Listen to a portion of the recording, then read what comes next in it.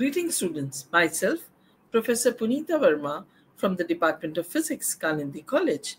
I'm here to clear all the doubts that are racing your mind regarding whether you should choose the physics as a subject for your course of undergraduate study.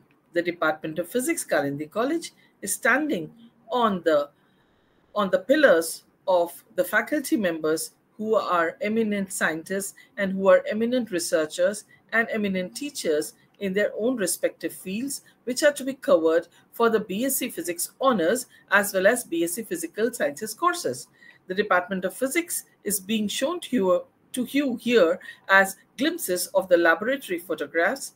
There are, there are laboratories available for each and every particular subject of the course that is to be covered in under either the BSc Physics Honors or Physical Sciences courses. The COVID-19 pandemic uh, protocol of wearing masks and social distancing is also presently followed for the third year students as per university rules.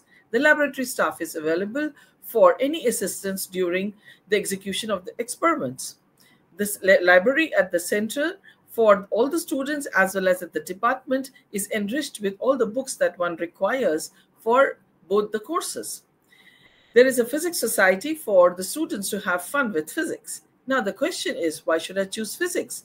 The scope of physics is virtually in every field.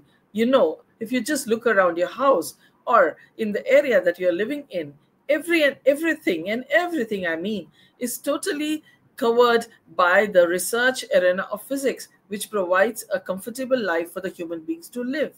These facts are known to you, and therefore physics is one of the most coveted subjects that a student must take during undergraduation. The courses offered in physics are, as I mentioned, BSc Honors Physics or BSc Physical Sciences, and the Physical Sciences here runs with physics, computer science, and mathematics.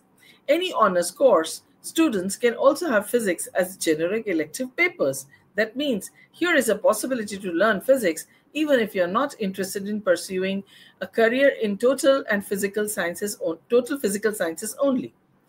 What prospects exist after graduation in physics is a question that races into the minds of all the students. The higher education avenues after the graduation in physics are totally open for all the students who do either of these courses, be it Masters of Science in Physics, leading to a PhD, or a Masters of Bachelor Administration MBA or MCA, or a Bachelor of Education to teach in schools, or a Master of Technology, and also law. So, what is not covered? Almost nothing.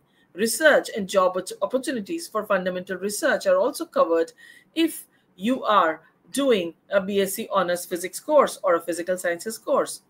One can get admission in all central and state universities, all national laboratories, all research institutes, example TFR, PRL, DRDO, IUAC, BARC, and so on. And that is not the end. One can even migrate to other sister fields of physics, such as energy generation, and so many applications of physics, such as nanoscience, material science, semiconductor physics, and so on and so forth.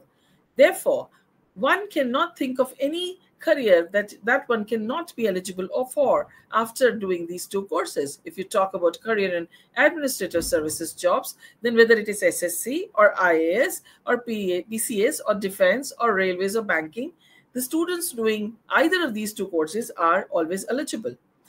And obviously teaching positions in universities colleges and polytechnics and schools always remain as one of the possible career prospects. So the world is yours to conquer and therefore, I invite you to come and take admission in Department of Physics, Kalindi College and study either of the two courses, BSc Honors Physics or Physical Sciences.